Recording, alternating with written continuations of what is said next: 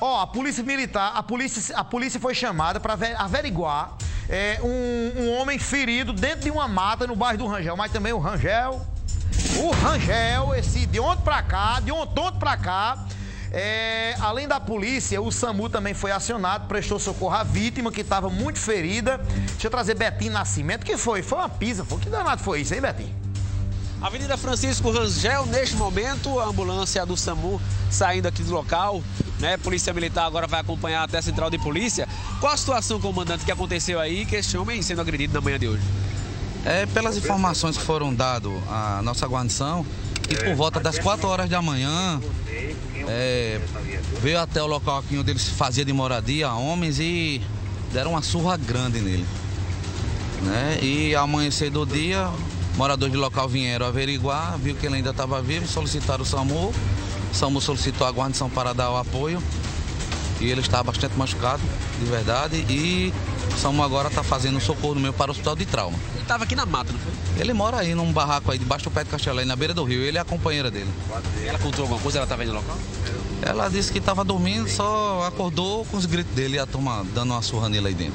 Ele ficou até agora, que já vai dar 9 horas, já até agora aí sem atendimento. É porque como era aí num, num canto, um local ermo, né? E escondido da, do visual do, da população, só vieram ver, eu creio que nesse momento, né? Eles chegaram aí, o SAMU também, e ele estava orientado. Ele está Apesar dos ferimentos. Desorientado, desorientado. Demais. Desorientado. Resistiu muito aí ao atendimento do SAMU. Procedimento agora, hospital de trauma. Hospital de trauma, está bastante machucado.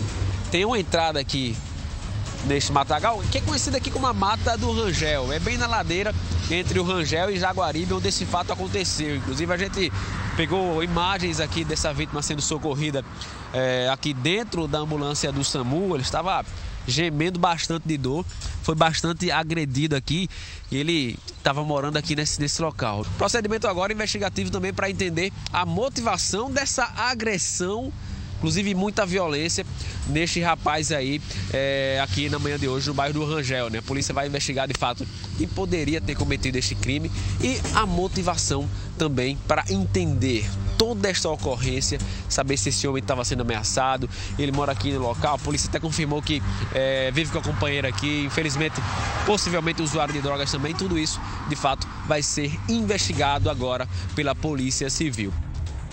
Estão matando para ver a queda, viu? Hoje. Hoje estão matando para ver a queda. Ó, essa vítima de espancamento aí, de, ela tem 42 anos, está internada no hospital de trauma, é aqui da capital, com estado de saúde estável. Mas escapou, viu? Estão matando para ver a queda aqui, ó. 11:58. Agora eu ligo, ligue já. Onde pro